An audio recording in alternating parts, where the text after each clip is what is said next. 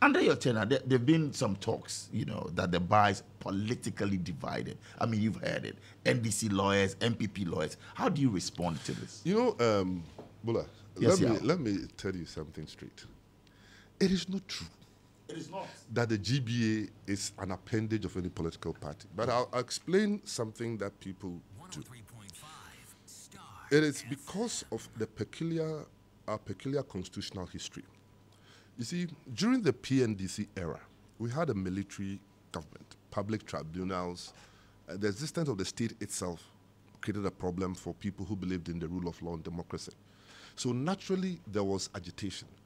But the PNDC metamorphosed into a political party. So it's like takeover. You take over the liabilities and the assets. So when people say that the bar is anti-NDC, no. It's because the PNDC metamorphosed the NDC, people have taken on that baggage. But the question I've asked them, I've this, this might be the fourth or so time I've posed. I want anybody to draw my attention to mm-hmm. a similar fact incident where President Kufuor President Akufo-Addo did something like maybe they put this paper here, mm. that the bar kept quiet, but President Mahama, President Mills did that, and the bar spoke. No, we would not do that. Look, you see,